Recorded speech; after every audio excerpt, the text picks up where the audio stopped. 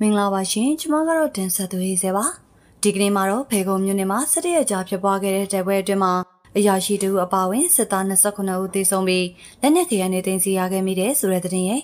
နေပြီးတော့ပြည်မနာမြို့နယ်မွေဟောင်းမြောင်စစ်တပ်စခန်းကိုတော်လိုင်းတပ်ဖွဲ့တွေတကယ်သိမ်းပိုက်ခဲ့ရာစစ်ကောင်စီဘက်က9ဦးသေဆုံးကတထုံကစစ်ကောင်စင်တိုက်နှစ်ခုတိုက်ခတ်ခံရမှုမှာလဲတရားရရှိတဲ့အမြောက်တပ်400နဲ့တရဲမှုအသေးဒုဗိုလ်မှူးကြီးစေကူတာမှုခံယူရင်သေဆုံးခဲ့တဲ့ဆိုတဲ့သတင်းနဲ့ နမကတိုင်မိုထိန်သိမ်းခံရခြင်းနောက်ွယ်ကလျှို့ဝှက်ခြင်းနဲ့တင်သိမ်းမော်ကိုလည်းမပန်ဆလိုတယောက်အစ်စ်ပေးလိုက်ခါခန်းစစ်အော်နေတဲ့တက်ထောက်ခံသူတွေကိုလည်းနင်တို့ခံရမယ့်စစ်ဆိုကနမိတ်ဖတ်ပေးထားတဲ့သတင်းတို့ကိုတင်ဆက်ပေးပါရသရှင်။ရှန်ကရနယ်ကျဖေခုံမြို့နယ်မှာစစ်တရကြာဖြစ်ပွားခဲ့တဲ့တိုက်ပွဲအတွင်းရာရှိတဝက်ပါဝင်စစ်သား29ဦးသေဆုံးပြီးလက်နက်ခဲယမ်းများတင်စီရမိခဲ့ကြောင်း PDF ဖေခုံတပွဲထမှသိရပါဗျ။ဇွန်လ3ရက်နေ့ကနေ23ရက်နေ့အထိအကြံဖက်စစ်တပ်ရဲ့ အမတ်ခွန်စစ်အခြေခံလေ့ကျင့်တက်အပါဝင်တမ66လက်အောက်ခံတရင်တွေကဖေကုံမြို့နယ်ခေါင်းကြီးကျွာအုပ်စုခေါင်းကြီးကျွာနဲ့စတော်ကျွာကိုရရှိထိုးစစ်ဆင်ခဲ့ကြောင်းသိရတာပါအဆိုပါထိုးစစ်ဆင်နေတဲ့စစ်တပ်ကိုကာကွယ်ရေးတပ်ဖွဲ့တွေကခုခံတိုက်ခိုက်ခဲ့ပြီးတိုက်ပွဲအတွင်းအကြံဖက်စစ်တပ်ဘက်ကအရာရှိတဦးအပါဝင်စုစုပေါင်း29ဦးသေဆုံးကများစွာထိခိုက်ဒဏ်ရာရခဲ့ကြောင်းစစ်သားတွေထိခိုက်ကြဆုံးမှုများခဲ့တာကြောင့်ဖေကုံစကခါခွန်နဲ့လက်နက်ကြီးထိုင်ထားတဲ့336တပ်တို့က၃ရက်စတိုက်လက်နက်ကြီးတွေနဲ့ပစ်ကူပေးခဲ့ကြောင်း ထိုလက်နက်ကြီးပစ်ကူမှုနဲ့ MBPTF 1007တရင်ကရဲဘော်2ဦးမြင့်မြတ်စွာကြာဆုံးခဲ့ကြောင်းသိရှိရပါတယ်။တိုက်ပွဲအတွင်းဂျမတ်စစ်တပ်ထံက MA2 တလက် MA3 တလက်နဲ့ KN များစွာကိုတင်စီရမိခဲ့ကြောင်း၎င်းတခိုင်မှုကို PDF ဖဲခုံတိုင်အမှတ်1339နဲ့အတူ LKPDF DMO PDS 1101 1102 1106 1107တို့ရဲ့ပူးပေါင်းစစ်ကြောင်း DMO Local PDF စစ်ကြောင်း MBPDF 1007 1009 1008 1005ပူပေါင်းစစ်ကြောင်း KRU နဲ့ KNDF တို့ကပူပေါင်းလှုပ်ဆောင်ခဲ့ကြောင်း PDF ပေကုံကဆက်လက်ထုတ်ပြန်ထားတာပါ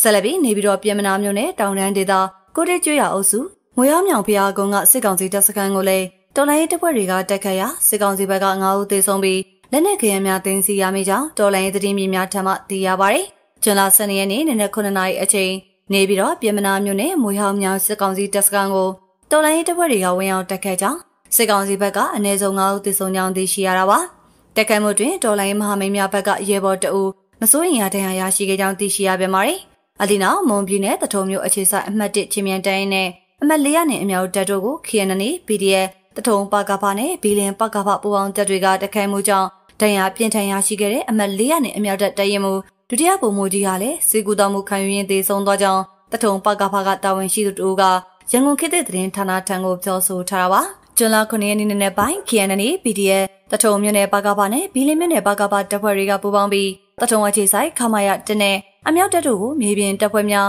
ဒရုန်းတပ်များနဲ့တိုက်ခိုက်ရာခမာယတစ်ကလေဦးထိခိုက်ဒဏ်ရာရရှိပြီးအမတ်၄နဲ့အမြောက်တပ်က9ဦးသေဆုံးကြောင်းအမြောက်တပ်ရဲ့တပ်ရင်မှုအစ်စ်လည်းထိုးထိုးတိုက်ခိုက်မှုကြောင့်ဒဏ်ရာအပြင်းထန်ရရှိကနေပြည်တော်ကိုလေးချောင်းခီးစင်းနဲ့တွားရောက်ကစေကူတာမှုခံနေခဲ့ရကြောင်းအဒီနောက်စေကူတာမှုခံယူရင်တပ်ရင်မှုသေဆုံးသွားခဲ့ကြောင်းသိရပါတယ်အမတ်၄နဲ့အမြောက်တပ်တပ်ရင်မှုသေပြီး ဒဏ်ရာရတော်တာကိုစေကူသားမှုခံယူနေရင်သေးတယ်မနေ့ကတင်ရပါတယ်လို့တထုံပြည်သူ့ကာကွယ်ရေးတပ်ဖွဲ့တာဝန်ရှိသူကပြောပါရယ်တထုံအမြောက်တပ်ရဲ့တရဲမှုအသေးဟာ၎င်းတပ်ကိုပြောင်းရွှေ့လာပြီးတဲ့နေ့ပြည်သူတွေနေထိုင်ရာကျေးရွာတွေအတွင်ကိုနေ့စဉ်လက်နက်ကြီးတွေနဲ့ရန်တမ်းပစ်ခတ်ခြင်းကြောင့်ကျေးရွာသားတချို့အထီးကဲဒဏ်ရာရရှိခဲ့ကြောင်းဒါကြောင့်လက်တုပ်ပြန်တဲ့အနေနဲ့တော်လိုင်းရာစုတွေကတွားရောက်တက်ခတ်ခဲ့ရကအမြောက်တပ်ရဲ့တရဲမှုဒဏ်ရာရရှိသေးဆုံးသွားခဲ့ခြင်းဖြစ်ကြောင်းသိရှိရပါတယ်အဒီနောက်မပန်ဆလိုကဂရီနီဘက်ကသတင်းတွေကြားရတာလဲရှယ်ပဲဖြစ်ကြောင်း ဂျာကာလာပြည်နယ်အစိုးရအုပ်ချုပ်ရေးဖော်ဆောင်မယ်လို့ကြေညာတယ်။ခွဲထွက်မှမဟုတ်ပဲ Federal Unit တစ်ခုအနေနဲ့ရှိနေမယ်လို့ကြေညာတယ်။မရှိမနှောင်းခင်မှာပဲ Greeny ပြည်တွေကစကားစားစကန်တွေကိုတပြိုင်နက်တည်းတိုက်ခိုက်သိမ်းပိုက်တယ်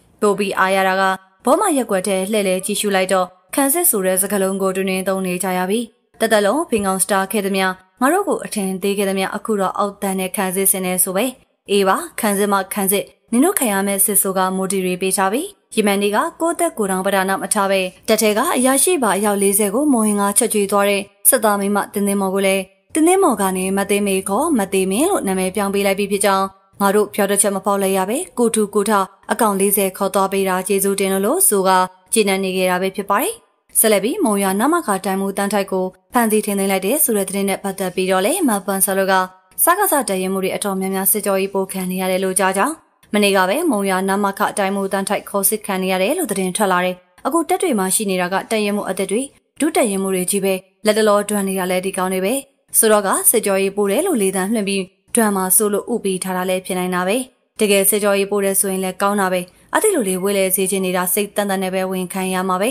နှစ်ခုစလုံးအိုင်နိုဘက်ကအရှုံးမရှိဘူးလေဖြစ်ချင်တာဖြစ်ပြောတာပဲကိုဒါပေမဲ့အထိုင်တက်မှာဒွမ်မှုထိုးကျွေးခံထားရတဲ့ဒူရင်မှုတွေ ရင်မှုအသစ်တွေစဉ်းစားတတ်အောင်လင်းတာပါဆိုမမပန်းရဲ့စေတနာဆိုကဖြစ်နိုင်ကြီးကိုခံမှန်းသတိပေးထားပြန်တာပါဒီသတင်းကြောင်းရလေးတွေကတော့ဒီလောက်ပါပဲရှင်အားလုံးပဲကိုစိတ်နှပြချမ်းမှရှင်လန်းကြပါသေးရှင်